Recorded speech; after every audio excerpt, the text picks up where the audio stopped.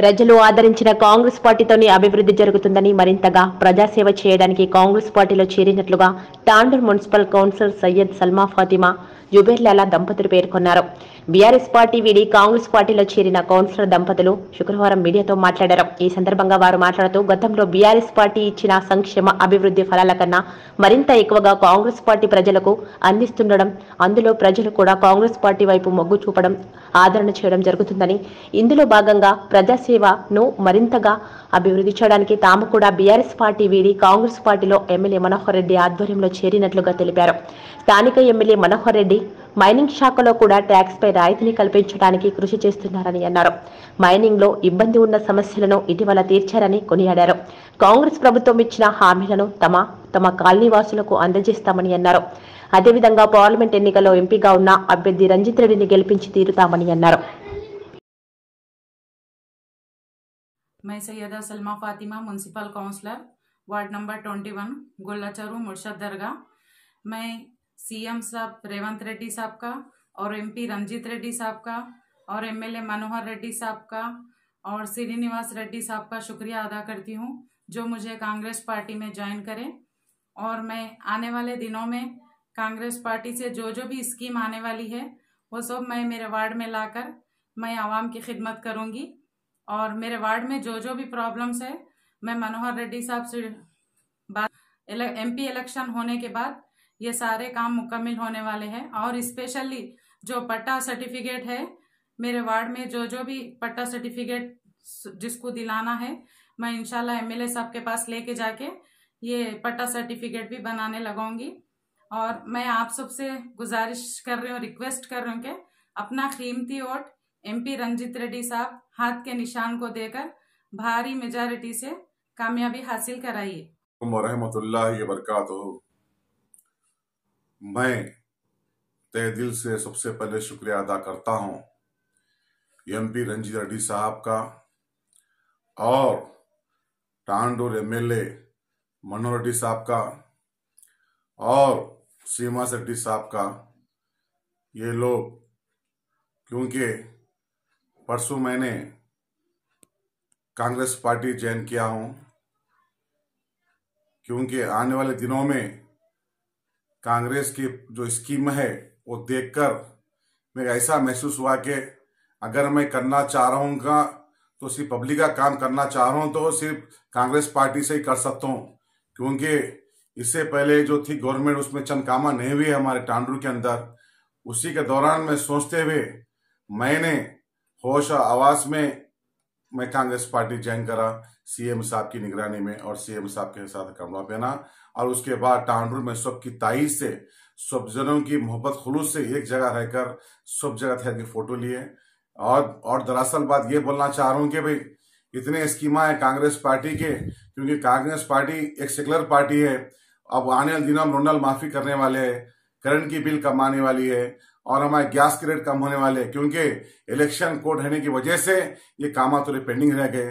क्योंकि मुझे भरोसा है, इलेक्शन के बाद पूरे काम मुकम्मल होंगे और हम पब्लिक का काम करेंगे। जो कामा पेंडिंग है, वो कामा पूरे पेंडिंग करेंगे।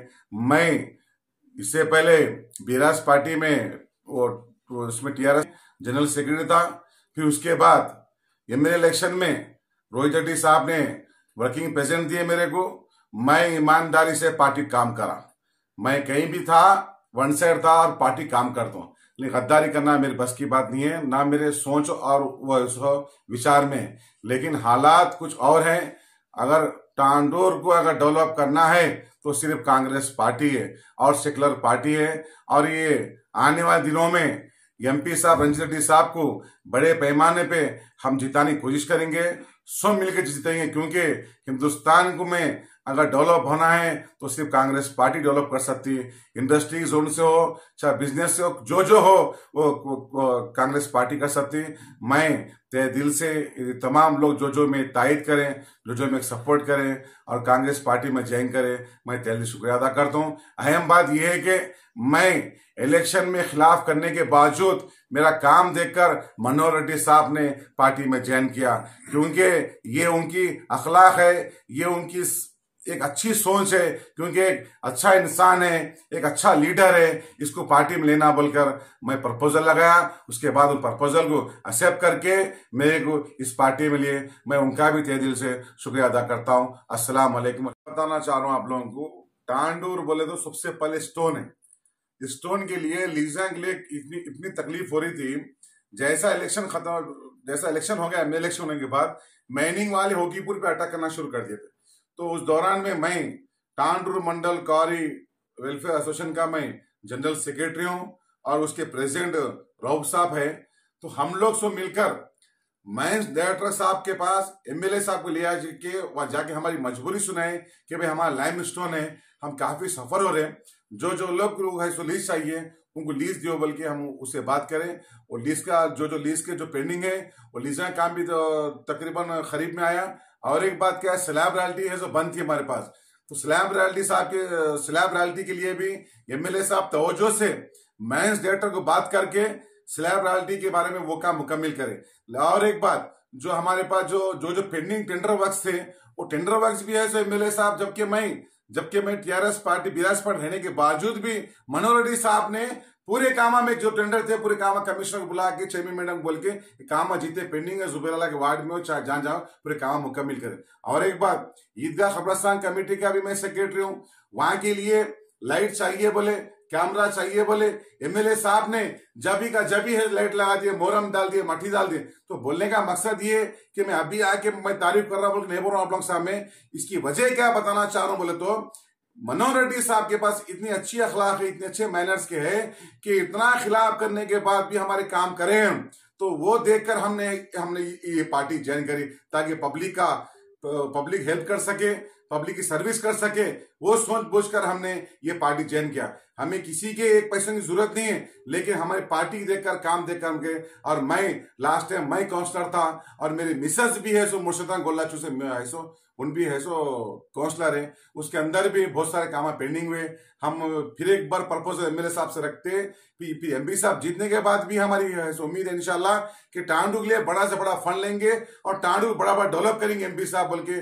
मैं आ, आप तमाम लोगों की ये बात बताना चाह रहा हूँ। और एक बात टांडू के आवाम से मैं ये काइंडली रिक्वेस्ट करता हूँ कि आप अपना कीमती और हाथ के निशान को डालकर बड़े पैमाने पे एमपी साहब को जिताइए ताकि टांडूर से बड़े पैमाने पे मेजॉरिटी आए। जिस जितनी मेजॉरिटी टांडूर से इनकी उतने हमारे काम आने वाले। ये कोई पार्टी काम करने वाली नहीं है ये आने वाले जाने वाले है।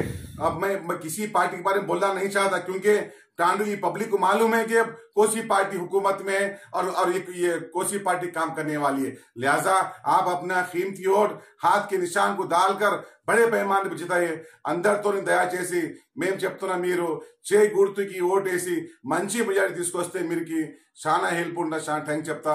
నమస్తే స్లాలే సెకండ్ ఇప్పుడు ఎన్ని స్కీమ్స్ వస్తున్నాయి? పెన్షన్స్ కానీ షాదీ ముబారక్ కానీ కళ్యాణ లక్ష్మి కానీ టిఆర్ఎస్ పార్టీ ఇచ్చిన ఇచ్చిన గ్యారంటీతోని ఇది మన కాంగ్రెస్ పార్టీ డబల్ గ్యారంటీలు ఉన్నాయి ఇంక ప్రజలు మొత్తం కాంగ్రెస్ కాంగ్రెస్ కాంగ్రెస్ కాంగ్రెస్ చెప్తున్నాయి. ఇప్పుడు ప్రజలు కాంగ్రెస్ చెప్పిన తర్వాత మేము నియమించే ఆ టీఆర్ఎస్ పార్టీ ప్రజలు ఎక్కడ? మేము కూడా అక్కడ. సో మేము కూడా దాని సవాడికి కాంగ్రెస్ పార్టీ మంచి స్కీమ్స్ ఉన్నాయి. ప్రజలకి సేవ చేయడానికి ఒక ఛాన్స్ దొరుకుతామని మేము కాంగ్రెస్ పార్టీ జాయిన్ అయినాం. షేర్ చేయండి. కోసం ఛానల్ని సబ్స్క్రైబ్ చేయండి. అలాగే ఇక్కడ ఉండే ఈ గంట సింబల్ని క్లిక్ చేయండి. మేము అప్డేట్ చేసే ప్రతి వీడియో నోటిఫికేషన్స్ మీకు వచ్చేస్తాయి.